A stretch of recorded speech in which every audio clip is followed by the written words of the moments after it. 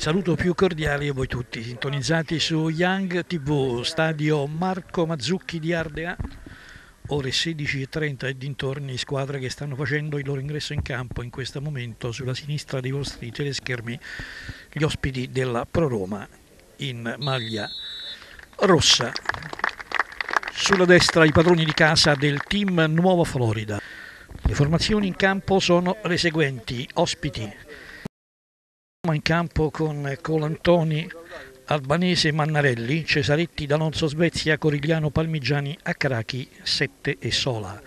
Il tecnico è il signor Alessandro Damiani che ha in panchina K, Pagani, Furghieri, Coluzza, Panetta, Musumeci e Salis. Padroni di casa che, si, che rispondono con Piccheri, Lauri, Moriconi, Petricca, Nunzi e Ponziani, Bona, Mancini, Mariani, Matteo Troccoli e Di Bari. A disposizione del tecnico signor Andrea Bussone, Orlandi, Schiumarini, Giacoia, Princigalli, Mirko Troccoli, Tubani e Piccini. Parte buona, cross a centro area e c'è la deviazione di Petricca. Petricca che colloca il pallone in fondo al sacco gol al decimo del primo tempo, dunque di Petricca, un uomo che ogni volta che scende è sempre pericolosissimo, normalmente nel primo tempo ricordiamo 1-0 per il team Nuova Florida, al decimo minuto gol di Petricca, lancio in profondità per Mariani, pallone a centro per Troccoli, da Troccoli su Mariani, Mariani cross, conclusione di Vona. Pallone questa volta più lungo, testa di Petricca. Vona. Vona. Di Bari, di Bari. E c'è il secondo gol. Secondo gol di Matteo Troccoli ottima questa azione di Dibari che ha finalizzato per eh, Matteo Troccoli che di destro ha tirato fuori il classico tiro imparabile sotto il 7 con palla che ha toccato anche l'incrocio dei pali prima di depositarsi in fondo al sacco da Lauri indietro per Di Bari. Di Bari Mancini Troccoli si libera, Troccoli e poi c'è il terzo gol. Terzo gol di Mariani. 45, 45. E mette una seria ipoteca sul match a questo punto. Il terzo gol di Mariani. Da Acrachi.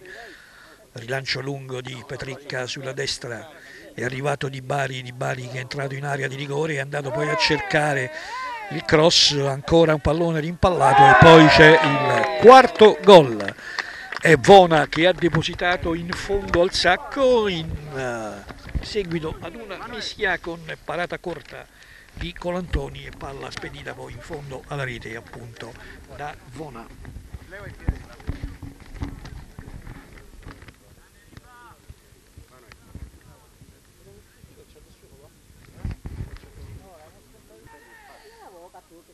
Ed è ripartito dunque Cesaretti con lancio in profondità adesso per Corigliano. Corigliano che va a depositare in fondo alla rete incustodita il gol dell'1 a 4 è uscito Piccheri dribbling di Corigliano che poi dopo aver evitato l'uscita di Piccheri ha depositato in rete.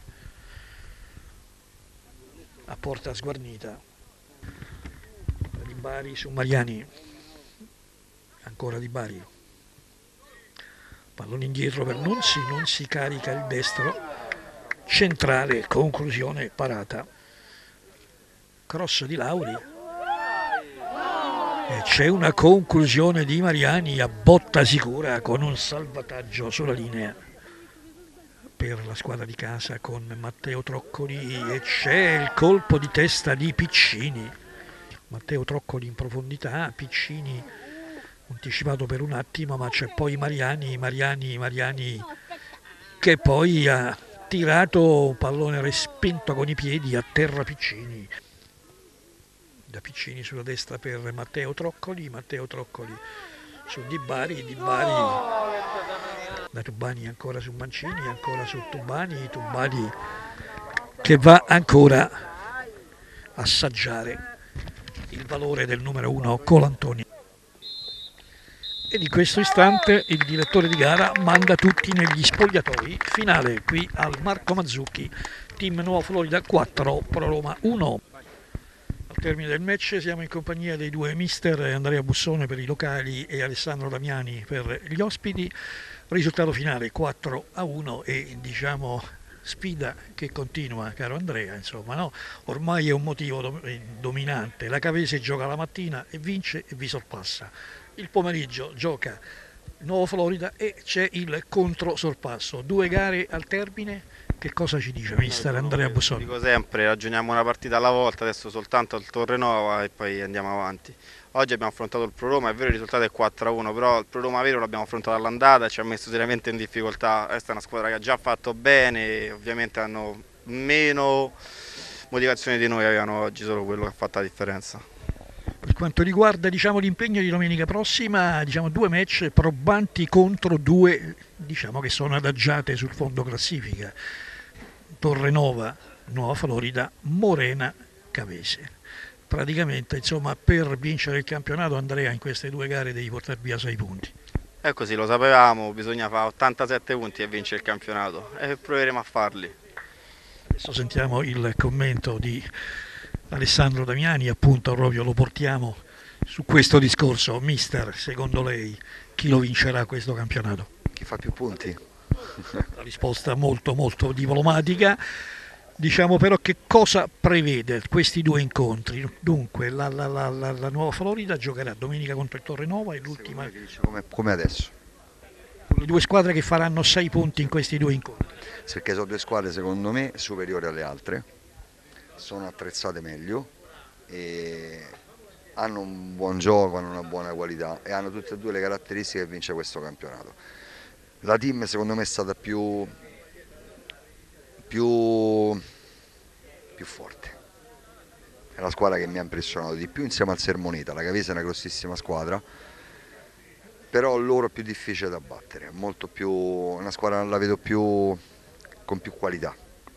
Mister, parliamo adesso invece della sua squadra, della Pro Roma. Ad un certo punto siete stati in lotta anche voi per un risultato di prestigio, quel quarto posto che potrebbe essere diciamo, molto utile per la disputa di un eventuale playoff. Che cosa è mancato alla sua squadra per toccare quel traguardo?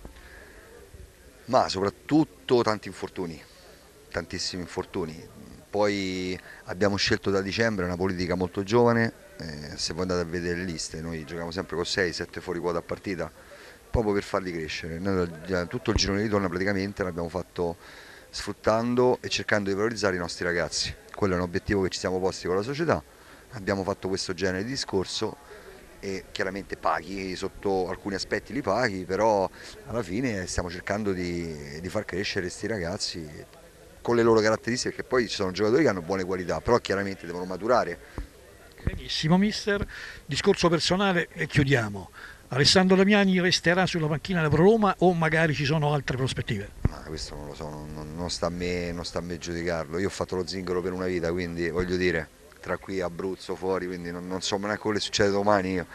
Quindi io sto stato benissimo, sto benissimo alla Pro Roma, però chiaramente poi dopo bisogna vedere i programmi della società e i miei programmi se coincidono. Benissimo mister, la stessa domanda non la faccio ad Andrea Bussone perché se vincerà il campionato lo inchiodano sulla panchina, se non lo vince lo mandano via. Ma non credo, anche perché non si può giudicare un allenatore, cioè io guardo sempre a 360 gradi la cosa. Io penso che il mister abbia fatto un grossissimo campionato, va dato merito di questo. Adesso posso dire la mia, adesso solo i giocatori possono perdere il campionato. Benissimo mister. Grazie, mister. Grazie, grazie, è tutto.